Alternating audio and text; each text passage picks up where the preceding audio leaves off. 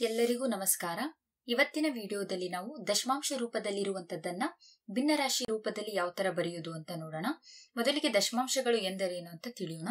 ದಶಮಾಂಶಗಳು ಎಂದರೆ ಆ ಶಬ್ದದಲ್ಲಿನ ಅರ್ಥವೇ ಸ್ಪಷ್ಟವಾಗಿ ಸೂಚಿಸುವಂತೆ ದಶ ಮತ್ತು ಅಂಶಗಳು ಎಂದರೆ ಒಂದು ಪೂರ್ಣದಲ್ಲಿ ಹತ್ತು ಸಮಭಾಗಗಳಾಗಿ ಮಾಡಿದಾಗ ಗುರುತಿಸುವ ಭಾಗವನ್ನು ದಶಮಾಂಶ ಎನ್ನಬಹುದು. ಅದೇ ರೀತಿ ಅವುಗಳನ್ನು ಸ್ಥಾನ ಬೆಲೆಗೆ ಅನುಸಾರವಾಗಿ ವ್ಯವಸ್ಥಿತಗೊಳಿಸಿದಾಗ ಸ್ಥಾನ ಬೆಲೆಗೆ ತಕ್ಕಂತೆ ಅವುಗಳಲ್ಲಿನ ಭಾಗಗಳು ಎಷ್ಟು ಎಂಬುದನ್ನು ಗುರುತಿಸಬಹುದು. ಈಗ ನಿಮಗೆ ಆಲ್ರೆಡಿ ಗೊತ್ತಿದೆ ಭಿನ್ನ ರಾಶಿಗಳೆಂದರೇನು, ದಶಮಾಂಶಗಳು ಎಂದರೇನು ಅಂತ ಅಲ್ವಾ ಸೊ ಇವಾಗ ನಿಮ್ಗೆ ಇಲ್ಲೇನ್ ಕಾಣ್ತಾ ಇದೆ? ಟೂ ಬೈ ತ್ರೀ ಅಂತ ಕಾಣ್ತಾ ಇದೆ ಅಲ್ವಾ? ಇದನ್ನ ಯಾವ ತರ ಓದ್ತೀರಾ? ಮೂರನೆಯ ಎರಡು ಅಂತ ಓದ್ತೀರಾ? ಹಾಗೆ ಫೋರ್ ಬೈ ಸೆವೆನ್ ಅಂತ ಇನ್ನೊಂದು ಉದಾಹರಣೆ ಇದೆ. ಇದನ್ನ ನಾವು ಸೆವೆನ್ ಏಳನೆಯ ನಾಲ್ಕು ಅಂತ ಓದ್ತೀವಿ ಅಲ್ವಾ? ಹಾಗಾದ್ರೆ ಇದು ಭಿನ್ನ ರಾಶಿಯ ರೂಪದಲ್ಲಿದೆ. ಇದನ್ನ ದಶಮಾಂಶ ರೂಪದಲ್ಲಿ ನಾವು ಯಾವ ತರ ಬರಿತೀವಿ? ಇಲ್ಲಿ ಉದಾಹರಣೆನ ಕೊಡಲಾಗಿದೆ ನಿಮಗೆ. ಹತ್ತನೆಯ ಐದು ಅಂದ್ರೆ ಅದನ್ನ ಯಾವ ತರ ಬರಿತೀವಿ? ಜೀರೋ ಪಾಯಿಂಟ್ ಫೈವ್ ಅಂತ ಬರಿತೀವಿ. ಹಾಗೆ ನೂರನೆಯ ಎರಡು ಅಂತ ಅಂದ್ರೆ ಜೀರೋ ಪಾಯಿಂಟ್ ಜೀರೋ ಟೂ ಅಂತ ಬರಿತೀವಿ ಅಲ್ವಾ? ಓಕೆ ಇವಾಗ ಇಲ್ಲಿ ನಿಮಗೆ ಒಂದು ಉದಾಹರಣೆ ಇದೆ. ದಶಮಾಂಶ ರೂಪದಲ್ಲಿ ಇದೆ ಇದು ಜೀರೋ ಪಾಯಿಂಟ್ ಏಟ್ ಫೈವ್ ಅಂತ. ಇದನ್ನ ಭಿನ್ನ ರಾಶಿಯ ರೂಪದಲ್ಲಿ ಯಾವ ತರ ಬರೆಯೋದು ಅಂತ ನೋಡೋಣ. ನೀವು ಎಕ್ಸಾಮ್ನಲ್ಲಿ ಸ್ಟೆಪ್ ಬೈ ಸ್ಟೆಪ್ ಬರೆದ್ರೆ ಮಾತ್ರ ನಿಮ್ಗೆ ಪೂರ್ತಿ ಅಂಕ ಕೊಡ್ತಾರೆ, ಆಯ್ತಾ? ಹಾಗಾದ್ರೆ ಸ್ಟೆಪ್ ಬೈ ಸ್ಟೆಪ್ ಯಾವ ತರ ಬರೆಯೋದು ಅಂತ ನೋಡೋಣ. ಇಲ್ಲೇನಿದೆ ಜೀರೋ ಪಾಯಿಂಟ್ ಏಟ್ ಫೈವ್ ಅಂತ ಇದೆ. ಇದನ್ನ ನಾವು zero point eight five divided by one ಅಂತ ಬರ್ಕೋತೀವಿ. ಇದಕ್ಕೆ ಅಂಶ ಮತ್ತು ಛೇದಕ್ಕೆ ಏನ್ ಮಾಡ್ತೀರಾ? ಇಂಟು ಹಂಡ್ರೆಡ್ ಇಂದ ಗುಣಿಸ್ತೀರಾ. ಯಾಕೆ ಇಂಟು ಹಂಡ್ರೆಡ್ ಇಂದ ಅಂತ ಅಂದ್ರೆ, ಇಲ್ಲಿ ನೋಡಿ ಪಾಯಿಂಟ್ ಆದ್ಮೇಲೆ ಎರಡು ಪ್ಲೇಸ್ ಇದೆ ಅಲ್ವಾ? ಅನ್ನ ಹಾಗಿದ್ರೆ ಹತ್ತು ನೂರು ಅಲ್ವಾ? ಎರಡು ಪ್ಲೇಸ್ ಇದೆ ಅಂದ್ರೆ ನೂರು ನೂರು ಸ್ಥಾನ ಅಲ್ವಾ? ಅಂದ್ರೆ zero point eight five into hundred one into hundred ಅಂತ ಅಂಶ ಮತ್ತು ಛೇದಕ್ಕೆ ನೂರರಿಂದ ಗುಣಿಸಿದಾಗ ಇಲ್ಲಿ zero point eight five into hundred eighty five one into hundred hundred ಅಂತ ಬರುತ್ತೆ ಅಲ್ವಾ? ಹಾಗಾದ್ರೆ ಎಂಬತ್ತೈದು ಮತ್ತು ನೂರು ಈ ಅಂಶ ಮತ್ತು ಛೇದ ಎರಡು ಸಂಖ್ಯೆಗಳು ಯಾವ ಮಗ್ಗಿಯಲ್ಲಿ ಹೋಗ್ತವೆ ಅಂತ ನೋಡ್ಬೇಕು. ಐದರ ಮಗ್ಗಿಯಲ್ಲಿ ಹೋಗ್ತವೆ ಅಲ್ವಾ? ಸೊ ಐದು ಹದಿನೇಳನೇ, ಐದ ಇಪ್ಪತ್ಲೆ ಹಾಗಾದ್ರೆ ಇವೆರಡನ್ನು ನೋಡ್ಬೇಕು. ಇವೆರಡು ಏನಾದ್ರೂ ಭಾಗ್ಯ ಆಗ್ತಾ ಇದ್ರೆ ಏನ್ ಏನ್ ಮಾಡ್ಬೇಕು? ಇದು ನಮಗೆ ಉತ್ತರ ಅಂತ ಅರ್ಥ.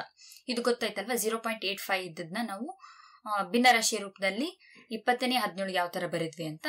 ಓಕೆ, ಇವಾಗ ಇನ್ನೊಂದು ಉದಾಹರಣೆ ನೋಡೋಣ.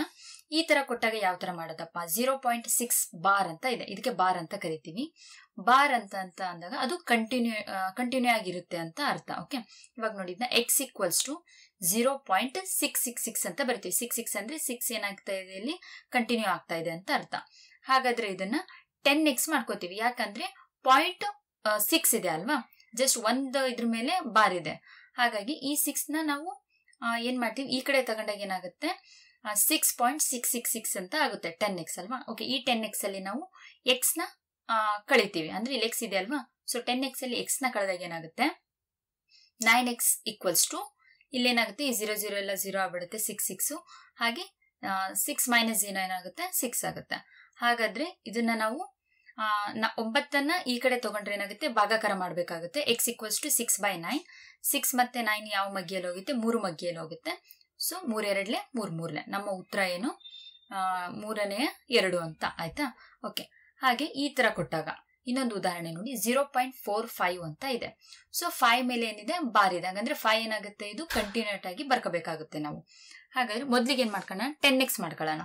ಟೆನ್ ಎಕ್ಸ್ ಅಂತಂದ್ರೆ ಈ ಫೋರ್ ಏನಾಗುತ್ತೆ? ಈ ಕಡೆ ಸರಿಸಿದಾಗ four point five five five ಅಂತ ಬರ್ಕೋತೀವಿ ಓಕೆ ಅದನ್ನ ನಾವು ಹಂಡ್ರೆಡ್ ಎಕ್ಸ್ ಮಾಡ್ಕೊಂಡಾಗ, ಅಂದ್ರೆ ಹಂಡ್ರೆಡ್ ಎಕ್ಸ್ ಮಾಡ್ಕೊಂಡಾಗ forty five point five five ಆಗುತ್ತೆ.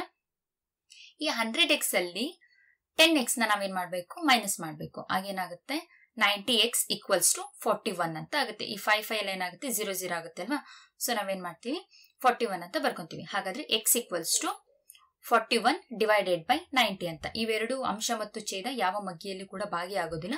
ಸೊ ನಾವೇನ್ ಮಾಡ್ತೀವಿ? ಇದೇ ಉತ್ತರನ ಇಟ್ಕೋತೀವಿ. ಹಾಗಾದ್ರೆ ಈ ತರ zero point four five bar ಇದ್ದಾಗ ಇದನ್ನ ನಾವು ಭಿನ್ನರಾಶಿಯ ರೂಪದಲ್ಲಿ ಉತ್ತರ ಏನಾಗುತ್ತೆ? ತೊಂಬತ್ತನೆಯ ನಲವತ್ತೊಂದು ಅಂತ ಆಗುತ್ತೆ. ಗೊತ್ತಾಯ್ತಲ್ವಾ? ಹಾಗಾದ್ರೆ ಇದನ್ನ ಕೇಬ್ರೂಕ್ ಅಪ್ಲಿಕೇಶನ್ನಲ್ಲಿ ಈ ತರ ಲೆಕ್ಕಗಳನ್ನ ಯಾವ ತರ ಮಾಡೋದು ಅಂತ ನೋಡೋಣ. ಇವಾಗ ಇಲ್ಲಿ ನೋಡಿ ಇದನ್ನ ನಾವ್ ಯಾವ ತರ ಬರ್ಕೊಂತೀವಿ? ಜೀರೋ ಪಾಯಿಂಟ್ ಫೈವ್ ಅಂತ ಅಂದಾಗ ಫೈವ್ ಬೈ ಟೆನ್ ಅಂತ ಬರ್ಕೊಂತೀವಲ್ವಾ? ಫೈವ್ ಬೈ ಟೆನ್ ಅಂತ ಬರ್ಕೋತೀವಿ.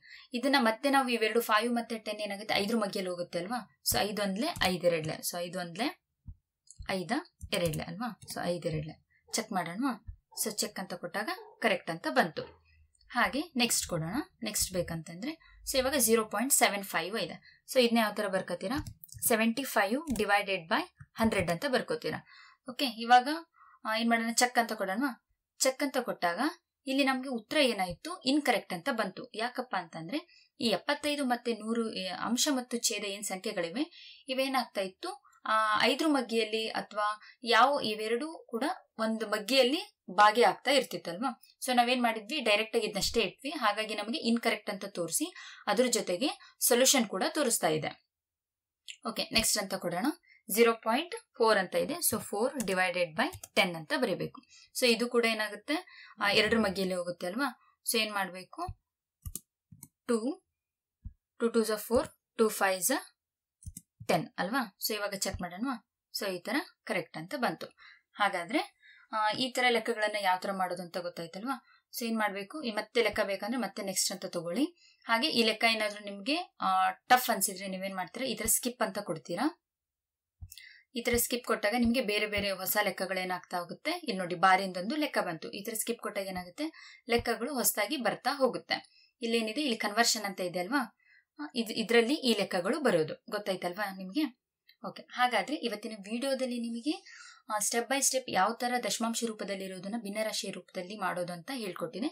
ಸೊ ನೀವು ಇದನ್ನ ಪ್ರಾಕ್ಟೀಸ್ ಮಾಡಿ, ಇದರಲ್ಲಿ ಏನಾದರೂ ನಿಮಗೆ ಕಷ್ಟ ಅನಿಸಿದೆ ಅಂದ್ರೆ ನೀವು ನಿಮ್ಮ ಗುರುಗಳನ್ನ ಕೇಳಬಹುದು ಓಕೆ ವಿಡಿಯೋ ನೋಡಿದಕ್ಕಾಗಿ ಧನ್ಯವಾದಗಳು.